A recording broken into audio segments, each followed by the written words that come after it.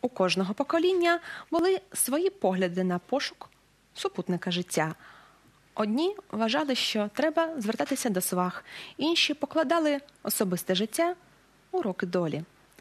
Який спосіб створення родини оберуть наші діти?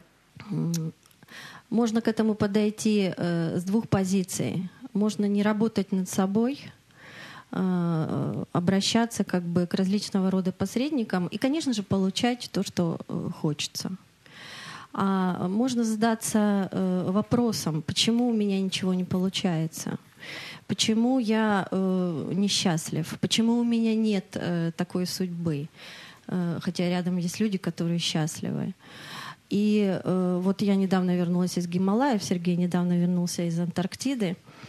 И э, когда я последние разы ходила в горы, вот последние три года, у меня была такая тотальность. Вот я не хочу больше так жить. Я э, не буду так жить, вот как бы без любви. Зачем вообще так нужно жить? Любовь это э, божественное чувство. И вот э, мне очень сложно сказать, если э, человек, э, который работает в брачном агентстве, проводник Бога, проводник любви, э, проводник э, ну, некой кармической такой вот, э, скажем так, вот позиции, то, ну, может быть, наверное. Э, но человек такого рода, работающий в брачном агентстве, должен быть очень высокого духовного уровня, очень э, как бы высокого уровня сознания, который должен видеть не только э, духовные вообще э, сущности человека, но и карму их. Это Дякую. очень Я- сложно. Оплески прошу. Ну, я проводник путешествий, но в данном случае нас соединила, в общем-то, посредническая линия, в общем, э, линия пути в жизни. То есть мы оба поехали в путешествие, оба хотели путешествие, и там нашли. У меня часто в путешествиях люди как-то соединяются, ну, бывает и распадаются, но мы не ставим в этом, так сказать, цель, что обязательно соединить людей, и особенно ну, ну, ко- корыстную цель. Я так считаю, что это Шлюбні агенції ставлять корисну ціль, тому вони не можуть бути провідниками. Поэтому, Ваша позиція це така. Это может быть какой-то мизерный процент, где там, как по воле Божией, все-таки произошло это дело. Потому что Бог обращается к человеку на волне любви. А где есть, э, в общем, высшая любовь, там человек только отдает, ничего не получает. Я спою маленькую древнюю, так сказать, э, мелодию, ну, попозже, потом.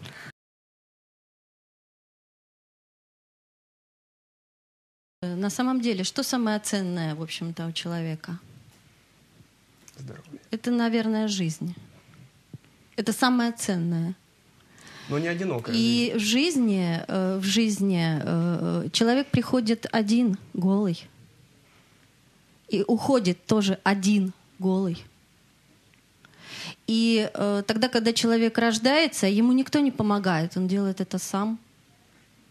И тогда, когда человек умирает, он тоже э, делает это сам. И как он умрет, ответственность только на нем самом. И посредников в этих вопросах нет. Тобто, Жизнь якщо – це людина любов. самотня, то це її, скажімо, доля така. Жизнь — это э, э, любовь, и э, э, только в любви возможна жизнь. Человек, э, который э, рождается, ну, особенно у нас, вот в социальных условиях, э, психологи все прекрасно знают об этом, и не только психологи, сейчас очень много продвинутых, особенно молодых людей, которые интересуются различными вот совершенствованиями и духовными, в том числе и психологическими, и просто жизненными. Люди просто живут. И э, четко э, каждые психологи понимают, что все проблемы, которые есть у человека, это проблемы все идут не только с детства, не только с внутриутробного развития, но и, э, если хотите, по э, индуизму, да, там по э, ведизму э, и, ну, может быть, где-то там по христианству, и таких людей мы как бы встречали по всему миру, э, идут эти все проблемы и из прошлых каких-то воплощений. И вот эти все вопросы необходимо э, вот человеку решить самостоятельно, если у него нет э, счастья в жизни, если он не встретил свою любовь. И э, эти все проблемы, они могут выражаться в самом разном, в слабостях прежде всего. Это Знаете, может быть слабость э, один, Извините. страха одиночества. Подождите сейчас. Это может быть слабость страха одиночества. Человек не хочет быть один. Это привязки могут быть, это могут быть привычки, это может быть все что угодно, только не любовь. Человек думает, что это любовь, но это не любовь. Это всего лишь э, его слабость э, быть с кем-то, быть кем-то, то есть, э, грубо говоря, быть энергетически сильным, э, образуя возле себя э, кого-то. Почему бы не найти причину проблемы в себе сначала? Сегодня взялись за такую интересную тему, но нам дети подсказали. То есть, когда мы рождаемся, мы идеализируем состояние, то, с которым мы рождаемся, то есть божественная искра, добрая, отзывчивая, трудолюбивая. То есть это стереотипы, это стиль как бы нашего детского восприятия и психики. Но никто из нас даже в детстве не догадывается, что для того, чтобы была семья, чтобы были добрые, хорошие взаимоотношения, люди должны трудиться. Труд заключается не в том, чтобы просто гвоздь прибить и ворчать при этом, а в том, что это делать вместе. В том, чтобы заботиться друг о друге, зная даже те слабости, даже зная те вещи, которые, ну, будем так говорить, не совсем, как вот говорили, там, можно о себе сказать. Зная о том, какой рядом с тобой человек, и при этом его любить, это очень большой и тяжелый труд. Прежде всего, может быть, где-то наши, э, вот, наша трибуна, она права в том, что пройдя путь, пройдя испытания, тогда человек может вот в себе понять, что ему нужно и для чего нужно. Но бывает и такое, что люди встречаются, смотрят друг на друга, молчат и улыбаются, и потому что они встретили друг друга. Может быть, на протяжении всей жизни те, кто ищет свою любовь, они не могут найти любовь прежде всего к самому себе. Вот если к самому себе ты найдешь любовь, то есть это у психологов есть такое э, значит, выражение, человека, который любит себя, вот от него исходят определенные какие-то флюиды. Вот я, допустим, практикующий психолог, я могу сказать, что ко мне приходят, например, женщины, и я прекрасно понимаю, что она не может найти свою семью, потому что она внутри себя ест. И если у нее появится какой-то предмет, то она будет есть и этот предмет. Тут нужно разобраться прежде всего в себе. Способен ли я любить? Любить со своими недостатками и со своими плюсами и минусами сам себя. И тогда вот эта идеализация, она выкристаллизуется. Ну, то есть будет тот самый человек, опять-таки, можно пройти два брака, три брака, четыре брака Но сделав правильное решение по отношению к самому себе, нужен ли мне вообще, может быть, если люди не, соз... не невозможно им создать семьи,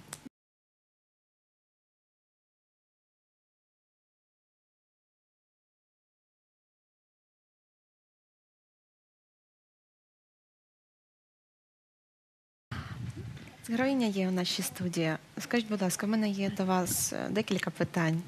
А, Чому так сталося? Ваша шлюбна життя не склалася?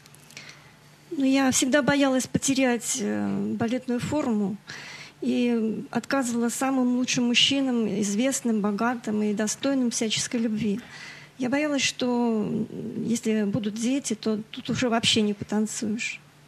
У меня такое безвыходное положение. Я каждую неделю просто хожу как на работу во всевозможные управления, а из одного управления культуры в другое, от одного чиновника к другому. Сколько уже поменялось э, за эти вот э, с 82 года э, Чего, чего, вы, чего вы всевозможных чиновников, и никто мне не помогает организовать какую-то мою концертную деятельность, потому что в театре работать невозможно.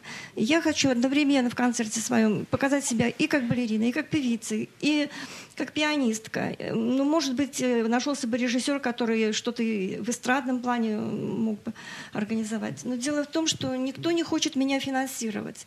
Я обращалась в фонды Фельдмана, Сапронова. Тобто, я так розумію, від Мне чоловіка везде ви отказано. чекаєте Мне того, нужен- що він буде да, вам допомагати? Именно нужен муж, который бы э, был, ин- у которого интересы со мной совпадали, чтобы э, м, запустить меня в концертную деятельность или открыть какое-то учебное заведение частное для меня и зарабатывать на мне деньги. То есть я была бы довольна, и он бы приумножил свое состояние. У меня просто нет другого выхода, потому что Я- государство мне помочь ничем не хочет. Я прошу коментарі у цій студії. одну хвилинку лише нашим гостям Да, мандрівникам. один только вопрос у меня к нашей героине. Вы понимаете сейчас, почему вас никто не финансирует, почему у вас сейчас разрушена карьера? Вы понимаете это? Вы осознаете это?